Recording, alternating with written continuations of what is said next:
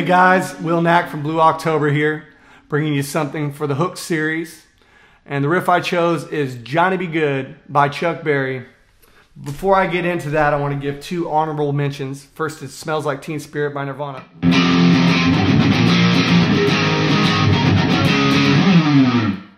And then the mind-blowing Purple Haze by Jimi Hendrix.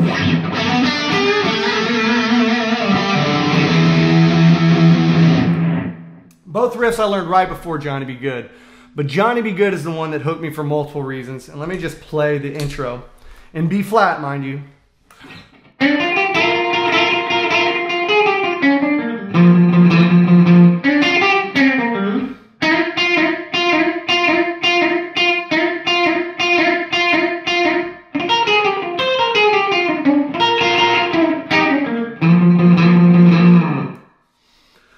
So yes, uh, multiple reasons that riff hooked me. First of all, Back to the Future. What guitar player born in the mid '80s doesn't have that story? I I don't know. Find me one. I doubt you can.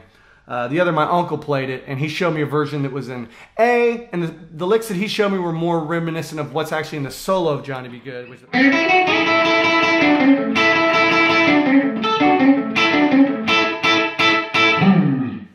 um, anyway, I met Johnny X uh, a year after starting to play, and he revamped. He's like, you got to learn it in B flat. And uh, that year, he was um, the number one guitar sideman in the Austin Chronicle music poll, uh, playing with everybody around town. He's played on Roky Erickson records, Doug Sahm records, all sorts of stuff.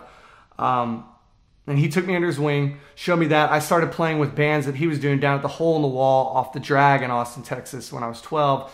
And the guys kind of realized like, when the kid, the 12 year old, would get up there and play Johnny B. Goode behind his head, these old hippies would start throwing 20s, 50s, 100s in the tip jar. Boom, a light bulb went off their heads like, oh, yeah, let's use this, let's make some money.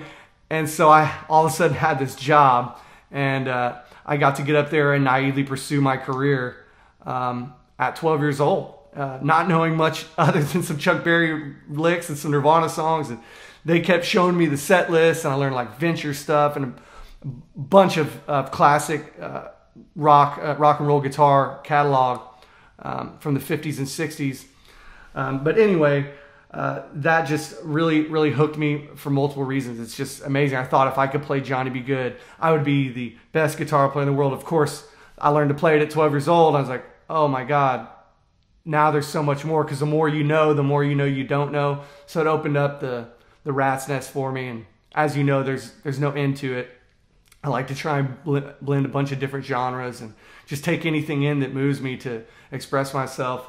Um, but it's interesting that this song, uh, John B. Goode, and some of the techniques and harmonic ideas and uh, still resonate and inform what I play currently. In fact, on the um, last Blue October record, um, This Is What I Live For, uh, there's a song, The Weatherman, and it starts and I use a double stop that has a fifth on the bottom, so it's fifth then root, and I let it uh, bloom into an oscillating delay thing, but here, here's the...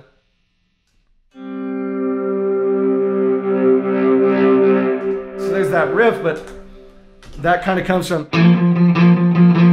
fifth in the bottom, root up top from Johnny B. Goode. And then in uh, Oh My My, uh, our single that went top 10 off that record, which we're really grateful for during COVID to have that happen. Thank you guys at radio.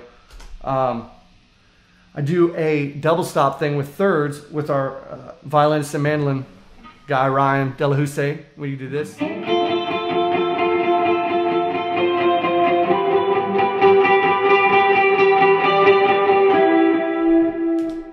And that is like double stops with thirds. Um, and then uh, lastly, the only guitar solo on the new record is on a song called Love Stupid. And the bending part in the chorus of Johnny B. Goode where he goes, I do something where you take a static note and you bend the string underneath it up to that pitch. Add a little fuzz, it sounds so gritty like a dinosaur eating a car.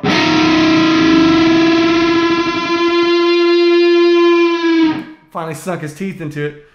And uh, a little pitch whammy in there and do some stuff kind of like this. Let's see.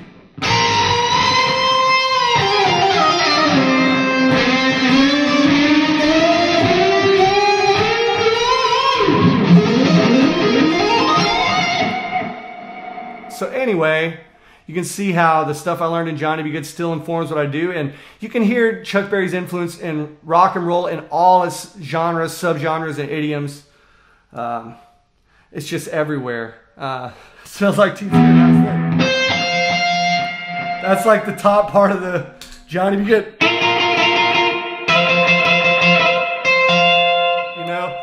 Um, anyhow, uh, I hope that 2021 is kinder to us all. Can't wait to get back on tour and rock for all you guys. And much love. Gotta love uh, Chuck Berry.